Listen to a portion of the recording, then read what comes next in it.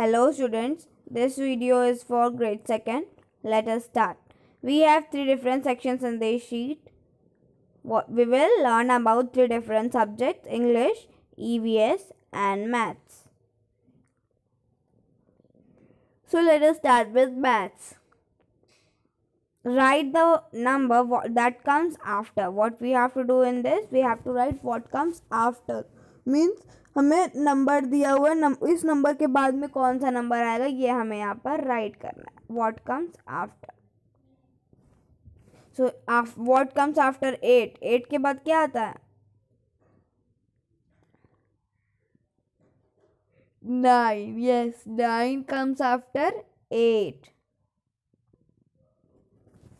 what comes after seventeen seventeen के बाद क्या आता है? 18 yes 18 comes after 17 what comes after 19 20 20 comes after 19 now what comes after 29 29 के बाद क्या आता है yes 30 30 comes after 29 good so in this way you will write that what comes after Now see the next question.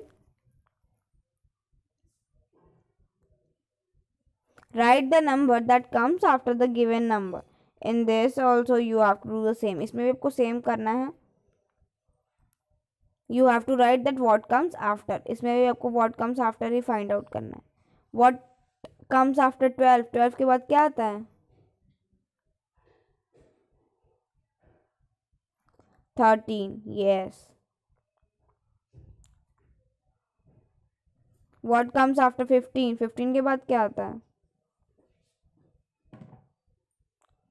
Sixteen what comes after eighteen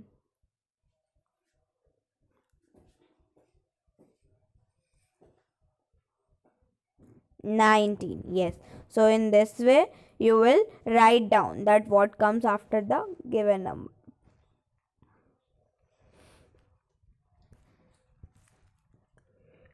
Now see the next section, which is of English.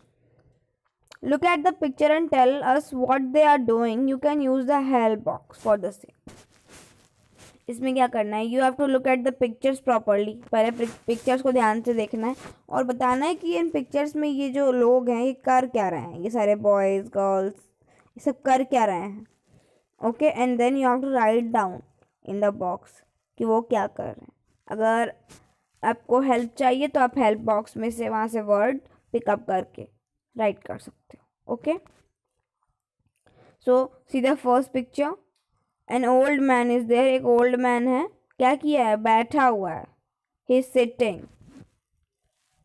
he is sitting so what we will write sitting S I double T I and G sitting. In the next picture, you can see the boy is running. Boy is running. R U double N I N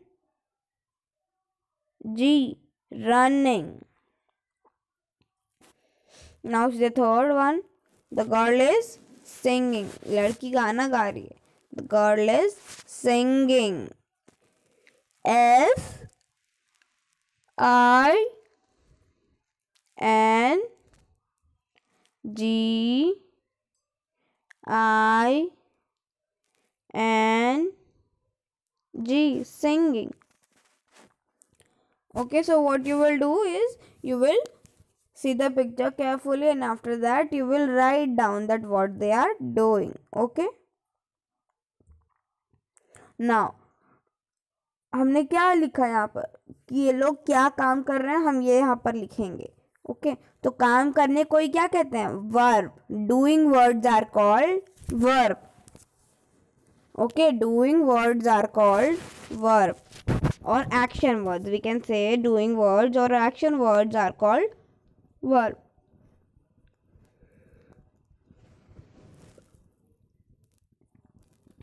Now circle the verbs. See the second question. Circle the verbs. One has been already done.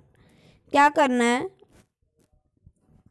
Verbs पे circle करना है okay action words पे doing words पे circle करना है run. एक आपके लिए ऑलरेडी किया हुआ है रन मतलब दौड़ना। तो क्या हुआ? एक काम हुआ। So it has been already in circled now talk talk मतलब बात करना। It is also a work so we will circle it it is also a work sing S I N G sing sing मतलब गाना। It is also a verb we will circle it. Now happy. H a double p y. Happy. Happy matlab खुश. ये तो verb नहीं है. It is not a verb food F double O D food food मतलब खाना. Means भोजन.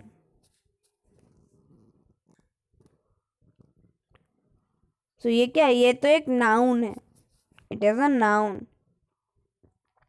E A T eat eat मतलब खाना मतलब क्या खाना? खाना खाना, भोजन खाना, ठीक है? So it is a verb we will circle it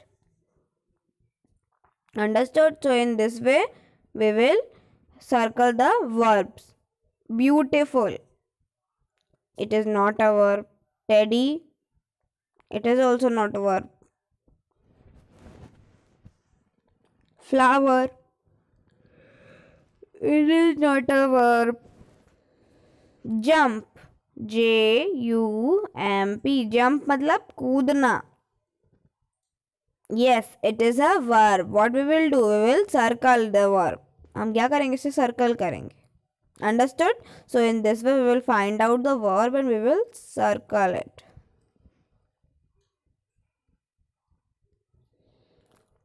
now see the last section which is of evs the baby of a dog what we will write dog की baby को हम क्या कहते हैं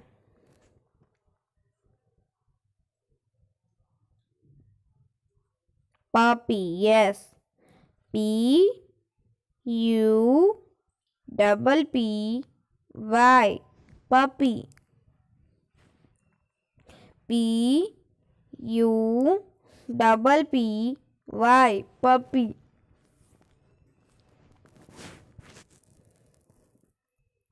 baby of a cat cat के baby को क्या कहते हैं kitten K I double T E N kitten cat की बेबी को क्या कहते हैं? Kitten baby of a pig pig के बेबी को क्या कहते हैं? Piglet P I G L E T piglet baby of a pig is called piglet now baby of a lion lion के बेबी को क्या कहते हैं cub C U B cub